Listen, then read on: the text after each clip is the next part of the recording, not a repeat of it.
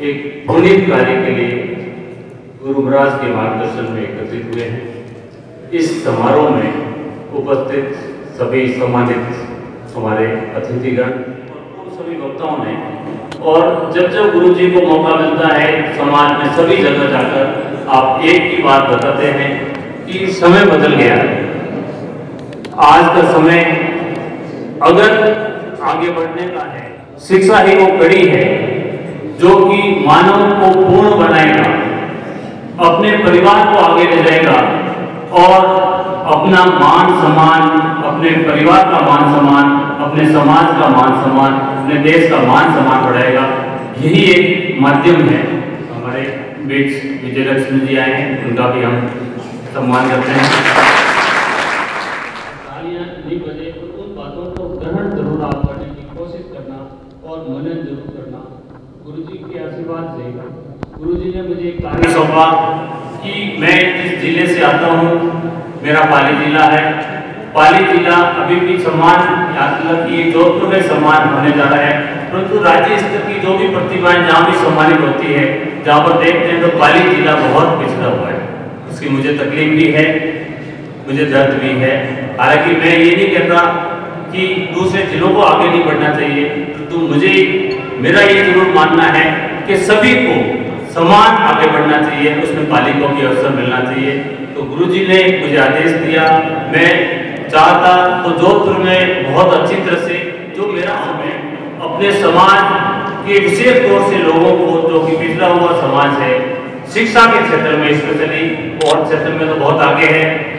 जैसा कि गुरु जी बार बार कहते रहते हैं, हमारे सबसे ज़्यादा मौचर और न्याय अगर होती तो पाली ज़िले में होती है। तो उस मामले में हमारा समाज बहुत आगे है। तो शिक्षा का जो क्षेत्र है, वहाँ पे बहुत ही पिछड़ा हुआ है।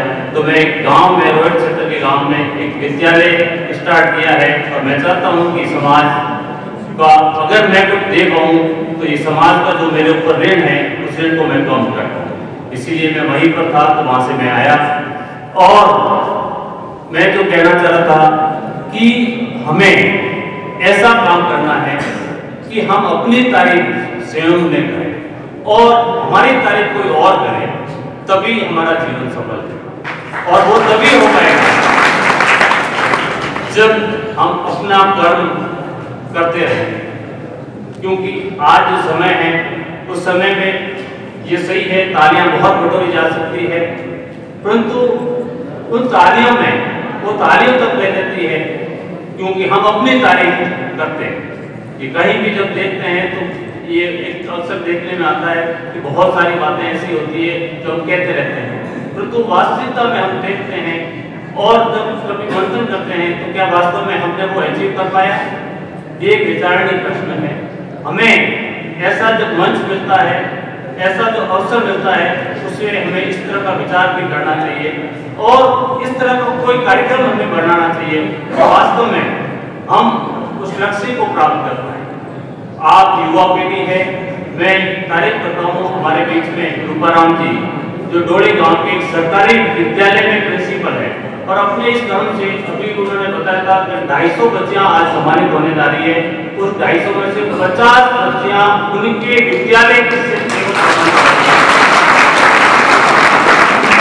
कई मायने में काम वो है। जो कि काम बोलता है। और काम जब बोलेगा तो अपने आप उसके अवसर, उसी काम के बल पे उनको न केवल राज्य स्तर पर पर राष्ट्रीय स्तर पर राष्ट्रपति से पुरस्कार मिलेगा वो काम है।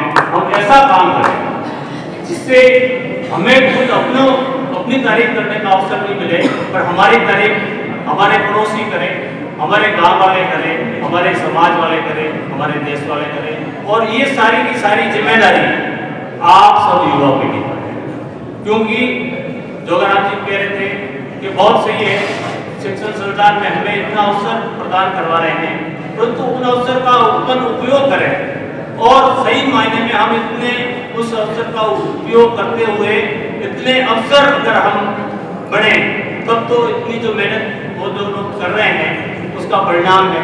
नहीं तो मेहनत करते रहेंगे, आज वो कर रहे हैं, कल उनकी जगह और करेंगे, वो आएँगे, करेंगे, उससे पहले जो भी लोग थे, वो भी कर रहे थे।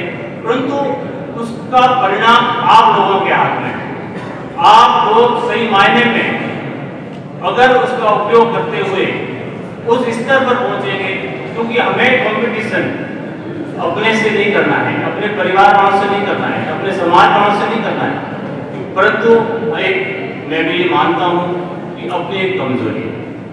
हम केवल और केवल जब तुलना की बात आती है तो अपने ही लोगों से उस तुलना में हमें लगता है कि हमने बहुत अचीव कर लिया, हमने बहुत प्राप्त कर लिया, पर वास्तव में ऐसा नहीं है। जब ये तुलना हम दूसरे समाज से और दूसरे समाज से भी और शहरी समाज से भी नहीं, हम अपने ग्रामीण समाज से तुलना करेंगे और उस समय देखेंगे कि हम अपने समाज में किस स्तर पर कितने अफसर दे दिए, कितने इंजीनियर दे दिए, कितने डॉक्टर दे दिए और कितने शिक्षाविद दे दिए।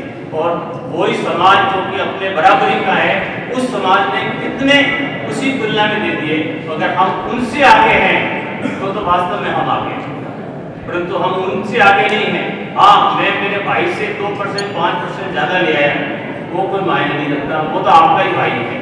आप अपने पड़ोसी से कितने परसेंट आगे लाए? पड़ोसी पटवारी बना तो आप तहसीलदार बढ़ेंगे नहीं बढ़ेंगे अगर पड़ोसी तहसीलदार बन रहा है, आप पटवारी बन के खुश हो रहे हो तो माफ़ करना, मैं उससे संतुष्ट अगर पड़ोसी पटवारी बन रहा है, आप तहसीलदार बन रहे हो एसडीएम बन रहे हो, आईएएस बन रहे हो तो तो वास्तव में उपलब्धि है। अपनी उपलब्धि है, अपने परिवार की उपलब्धि है, अपने समाज की उपलब्धि है।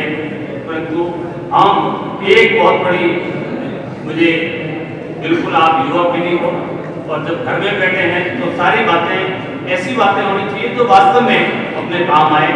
हमें संतुष्ट, संतुष्टि का भाव बहुत जल्दी है। हम बहुत जल्दी एक बार कुछ अचीव कर कर दिया तो मान लेते हैं हमने सब कुछ कर दिया। अगर एक टीचर बन गया तो उसके बाद वो सब कुछ छोड़ देता है। सरकारी नौकरी मिलती तनख्वाह मिल रही है बहुत है, अब क्या करना है? जबकि अगर किसी आदमी को, क्योंकि वो बेरोजगार था, और बेरोजगार के बाद में उसको एक रोज़गार मिला है तो रोज़गार मिल गया, यानी कि उसके परिवार को पालने की समस्या समाप्त हो गई, उसको घर से पैसे लाने बंद हो गए तो उसके बाद में उसकी ज़िम्मेदारी बढ़ती है क्योंकि उसको रोज़गार तो हो गया, शिक्षक बन गया, उसके बाद समय की कमी नहीं, उस समय का अवसर उसको बुलाएँ। आप अखबार सब पढ़ते हो, आज की युवा पीढ़ी भी अखबार पढ़ती है, अखबार से भी ज़्यादा सोशल मीडिया ज़्यादा देखती है। सोशल मीडिया में भी काम की चीज़ें देखो, समय खराब करने वाली चीज़ें मत देखो। उनको मत फैलाओ इधर से उधर। फॉरवर्ड कर दिया, एक मैसेज आ गया, इधर डाल दिया, उधर उधर डाल दिया, अपना टाइम खराब कर दिया। मैं वो कहना चाह रहा हूँ कि अगर आपके गाँव का कोई शिक्षक और शिक्षिका, जब कि अक्सर आप पढ़ते हो, और वो नौकरी प्राप्त करने के बाद में वापस तैयारी करके अफसर बनता है आरएस बनता है आईएएस बनता है तो जब वो आपके गाँव में देखिए आईएएस और आरएस बनता है तो आप शिक्षक बन के वहीं क्यों रहना चाहते हैं? आपको भी वो उदाहरण आपको अपनाना चाहिए।